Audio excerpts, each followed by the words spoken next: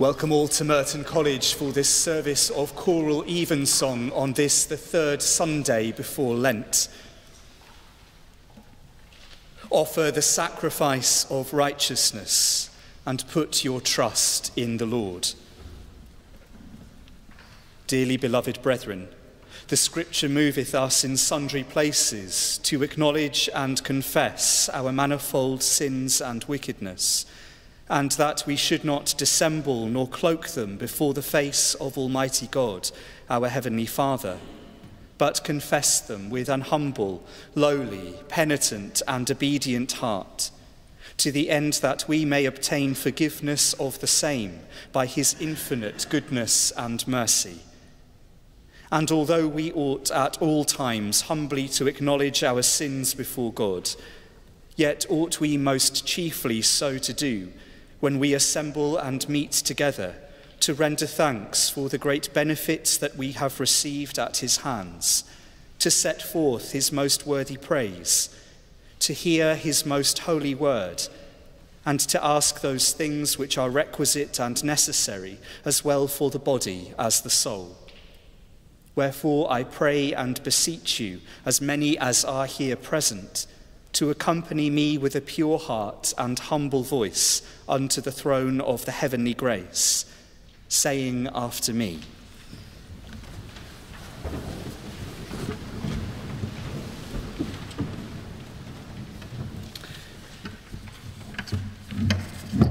Almighty and most merciful Father, we have erred and strayed from thy ways like lost sheep.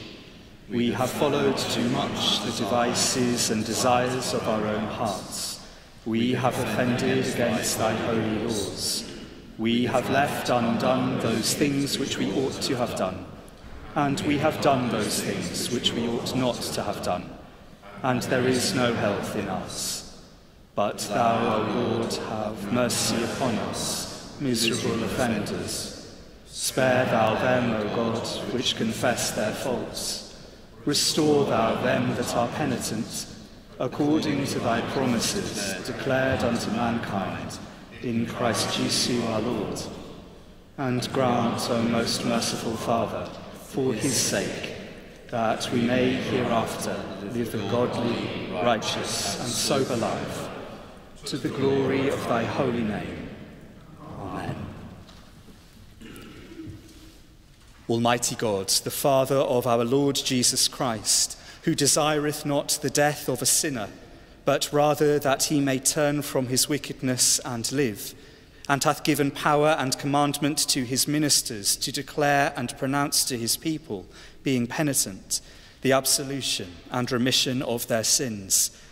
He pardoneth and absolveth all them that truly repent and unfeignedly believe his holy gospel Wherefore, let us beseech him to grant us true repentance and his Holy Spirit, that those things may please him which we do at this present, and that the rest of our life hereafter may be pure and holy, so that at the last we may come to his eternal joy through Jesus Christ our Lord. Amen.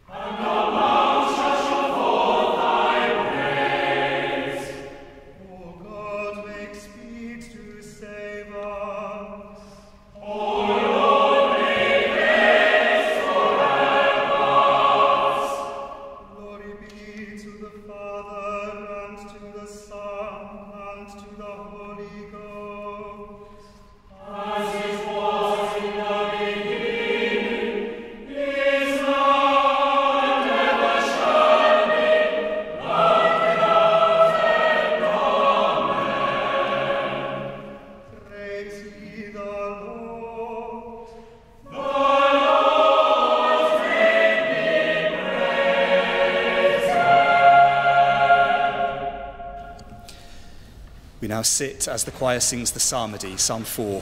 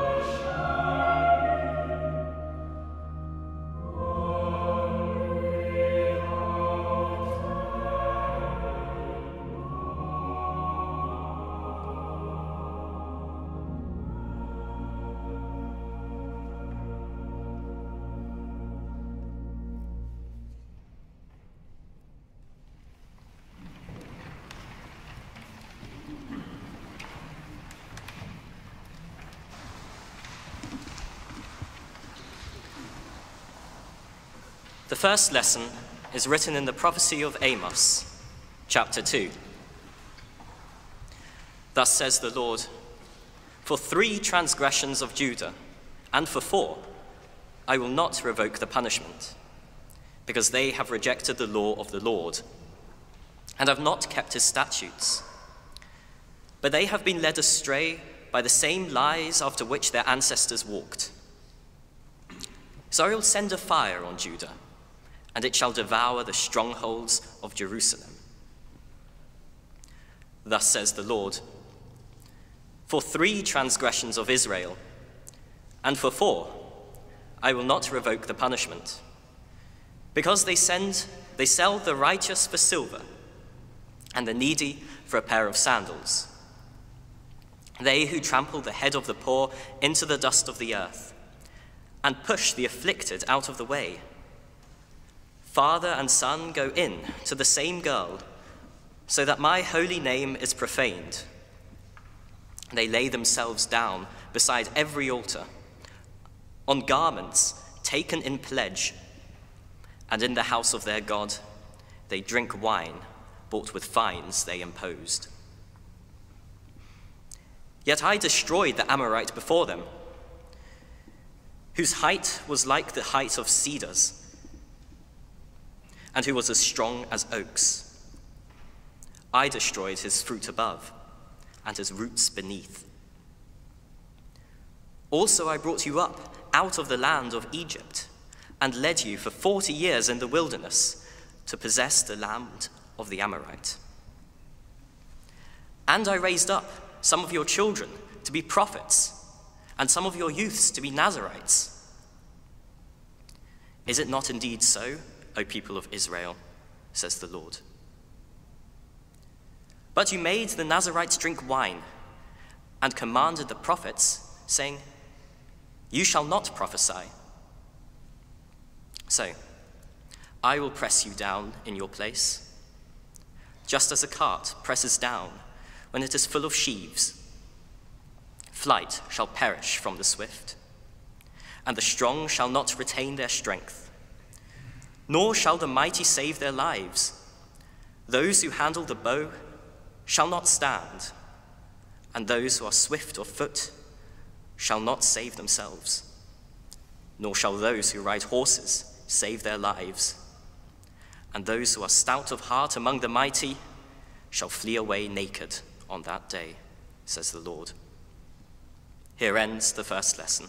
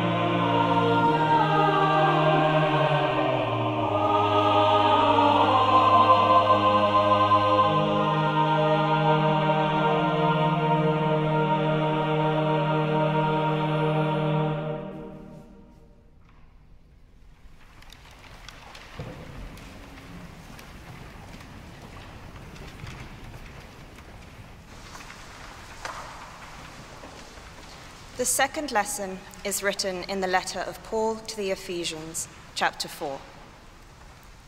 Now, this I affirm and insist on in the Lord.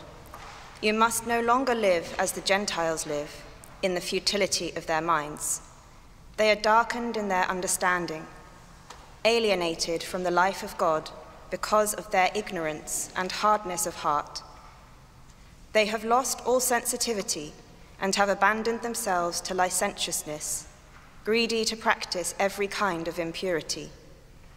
That is not the way you learned Christ, for surely you have heard about him and were taught in him, as truth is in Jesus. You were taught to put away your former way of life, your old self, corrupt and deluded by its lusts, and to be renewed in the spirit of your minds, and to clothe yourselves with the new self, created according to the likeness of God in true righteousness and holiness.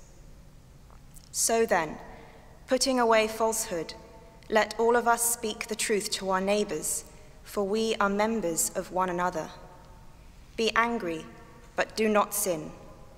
Do not let the sun go down on your anger, and do not make room for the devil.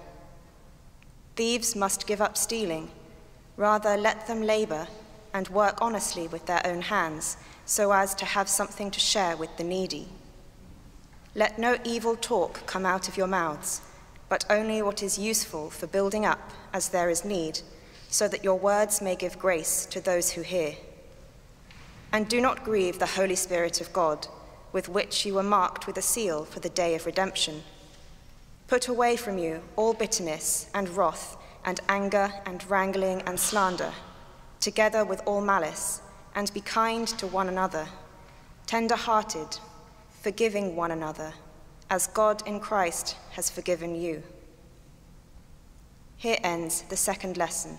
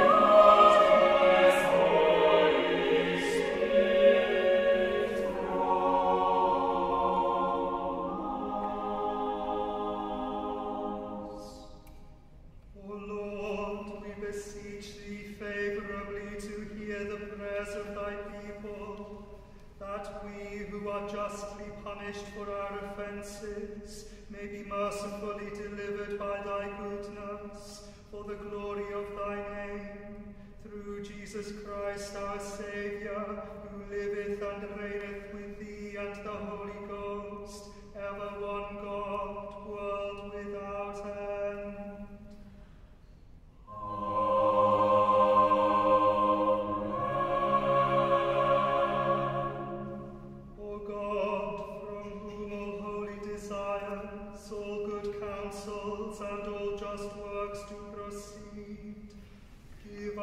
thy servants that peace which the world cannot give, that both our hearts may be set to obey thy commandments, and also that by thee we, being defended from the fear of our enemies, may pass our time in rest and quietness, through the merits of Jesus Christ our Saviour.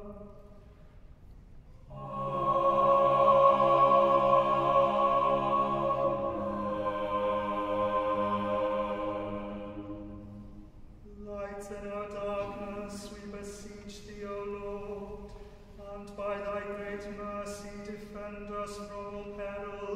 dangers of this night, for the love of thy only Son, our Saviour, Jesus Christ.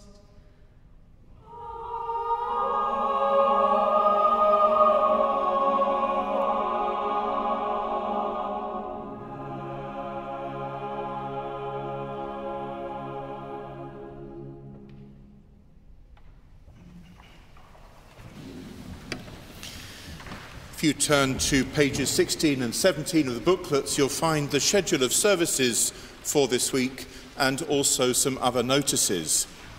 Next Sunday evening, our preacher at the Eucharist is the former Archbishop of Canterbury and visitor of the college, Bishop Rowan Williams. Service begins at the usual Sunday time of 545.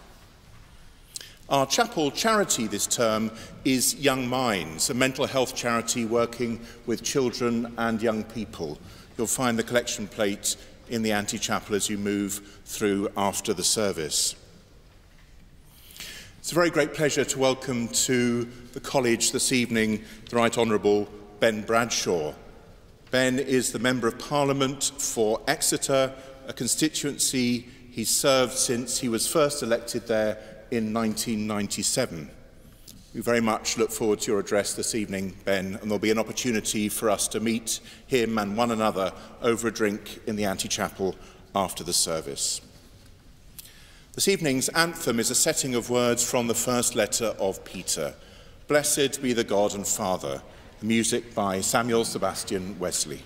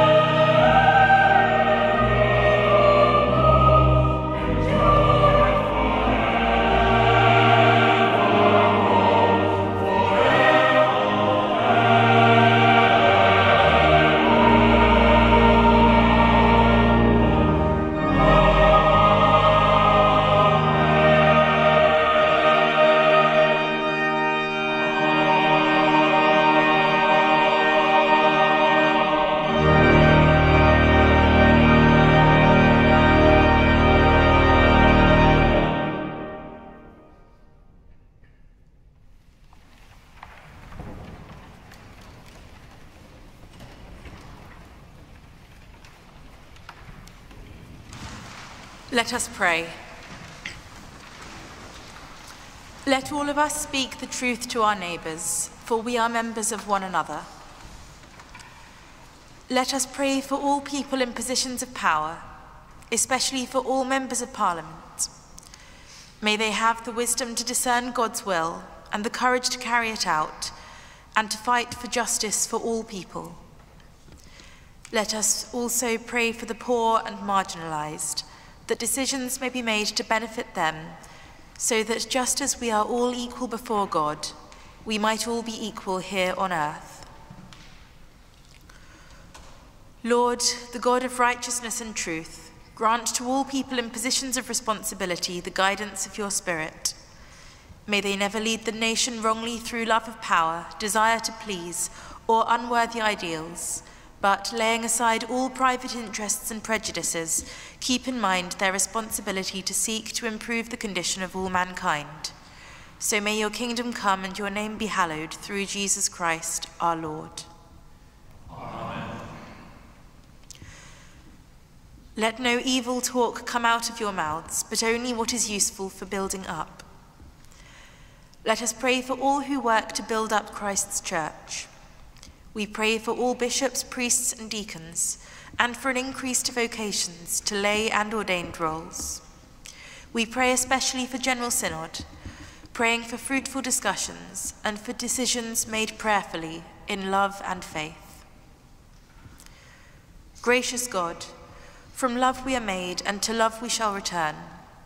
May our love for one another kindle flames of joy and hope May the light and warmth of your grace inspire us to follow the way of Jesus Christ and serve you in your kingdom now and forever. In a moment of silence, we bring before God the thoughts and prayers of our own hearts.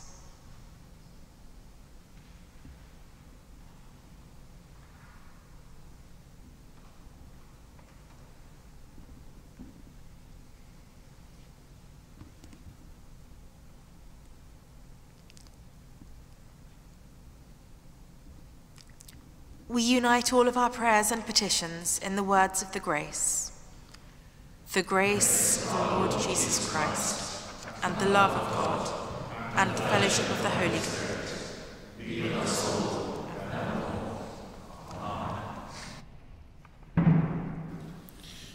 We stand to sing the hymn, Oh, for a Closer Walk with God.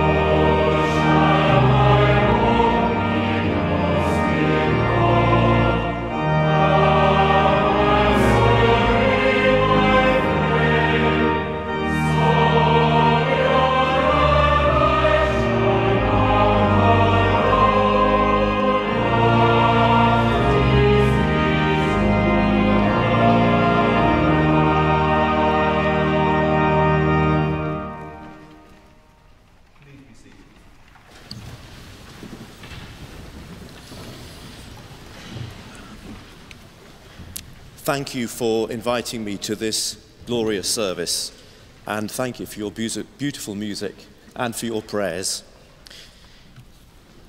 I would rather the Church of England were disestablished than lose conservatives in the worldwide Anglican Communion. Those are the words of the Archbishop of Canterbury, Justin Welby, just last week at a meeting with a cross party group of parliamentarians who'd asked to see him following the recent statement by the Church of England bishops on same sex relationships. When I was asked here and agreed to come, uh, I was filled with the same trepidation I always feel when, in a weak moment, I agree to preach in church. Because I'm not a priest nor a theologian. I'm a politician who happens to be Anglican and married to my partner of 28 years, who is a man.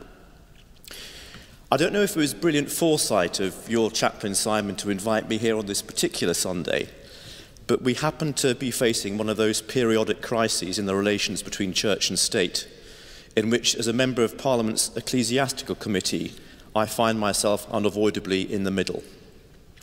And unless you've just come back from a month's silent retreat or don't consume any news, I don't need to tell you that the Church of England's Parliament, the General Synod, meets this coming week to discuss the outcome of nearly seven years of deliberation on same sex relationships.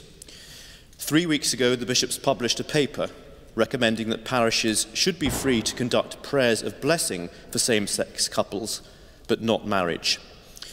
And the blessings proposed would be of the individuals, not their relationship. The further issue of gay and lesbian clergy and the current rules which prevent them from marrying and require them to be celibate will be discussed further down the line and brought back in July. This package was a bitter disappointment to many Anglicans, including me, who were hoping for more substantial change. But for some conservative evangelicals and traditional Anglo Catholics, even these proposals go too far and it's by no means certain that they'll be approved by Synod this week. A few parishes have already stopped contributing to their local diocesan funds, and some have said they will leave the Church of England completely if the changes are approved. Now, people who don't know as much as I'm sure you all do about the Church of England and its peculiar status and its history may ask themselves what any of this has got to do with Parliament. But as I'm sure you do know, the Church of England originated in the marital troubles of a former king and was created by parliamentary statute. Until 1919, all Church of England legislation was considered and approved, or otherwise, by Parliament. But partly because of the time burden that placed on Parliament, and also because of frustration in the Church about the slow progress of ecclesiastical legislation through Parliament, we agreed to hand over that job to a newly formed Anglican Assembly, which later became the General Synod. But Parliament retained a block by insisting all Church of England legislation must still be debated and approved in the first instance by the Ecclesiastical Committee of MPs and Peers, and if need be, on the floor of both houses. The role of Second Church Estates Commissioner was created. He or she, as a Member of Parliament of the governing party, appointed by the Crown on the advice of the Prime Minister. They act like a kind of unpaid minister for the Church of England, answering questions in Parliament on behalf of the Church, steering Church legis legislation through Parliament, and conveying Parliament's views to the Church. A previous holder of this office, the former Conservative MP for Banbury, just up the road, Sir Tony Baldry, told another meeting of MPs this week to discuss this issue that when the 1999 Act was passed, handing Synod the role previously conducted by Parliament, nobody had really envisaged a situation in which Parliament and the Church might disagree for any length of time on a major matter of doctrine and practice.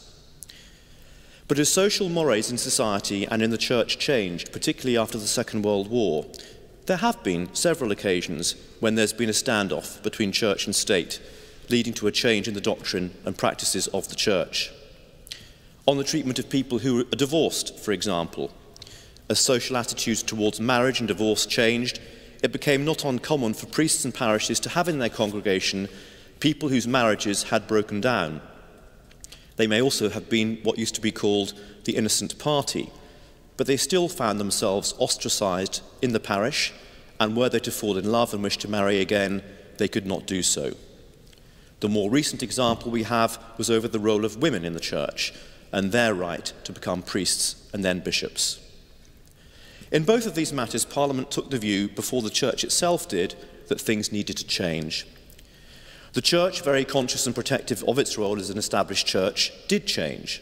And we have the situation we have today that parishes are now free to marry divorcees and women can thankfully become priests and bishops, but not everywhere yet.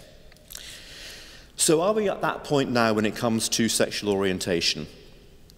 An opinion poll in yesterday's Times found clear majorities both among Anglicans in England and among the public in general who would support parishes being allowed to conduct same-sex wedding, weddings, but not being forced to. So a similar model to that affecting divorcees and women. When MPs debated this two weeks ago after the bishop's statement, a clear majority of those from all parties who spoke said they didn't believe the bishop's proposals go far enough.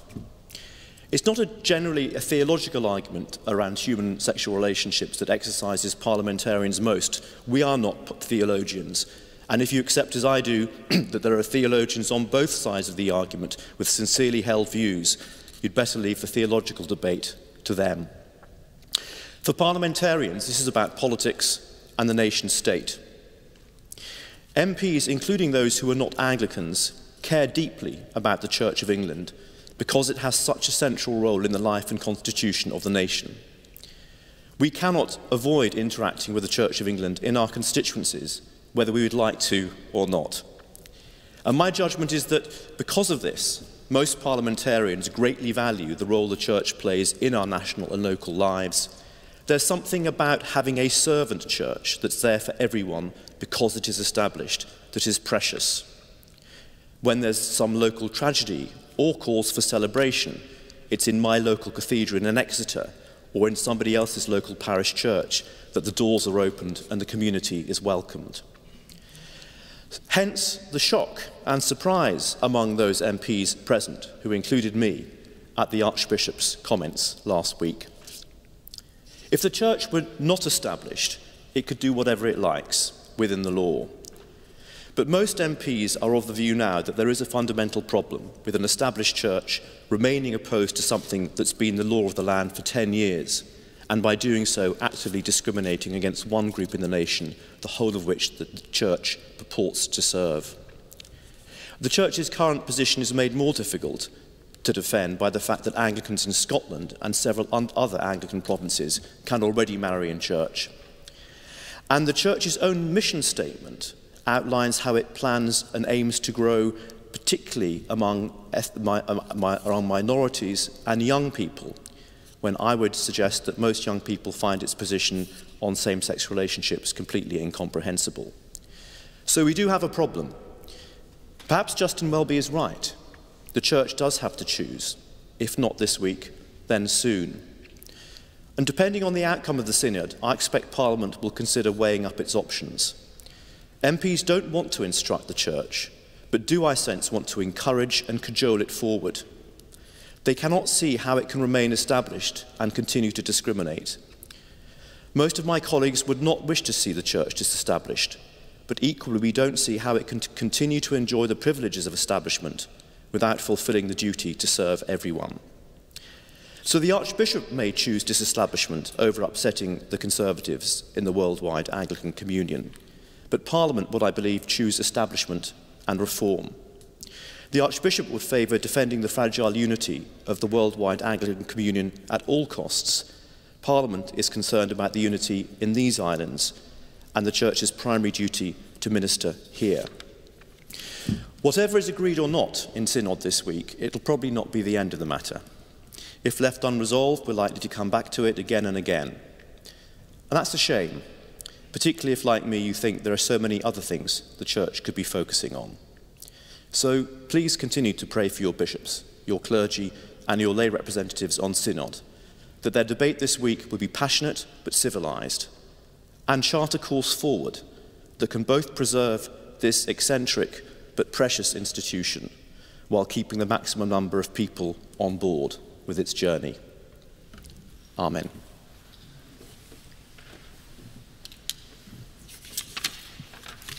We stand to sing the final hymn.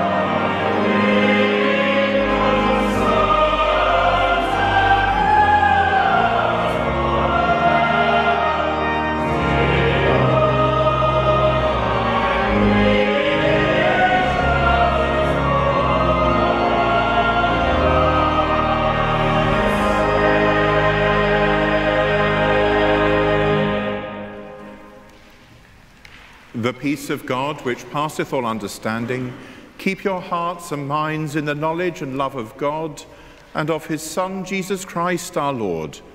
And the blessing of God Almighty, the Father, the Son, and the Holy Spirit rest upon you and remain with you always.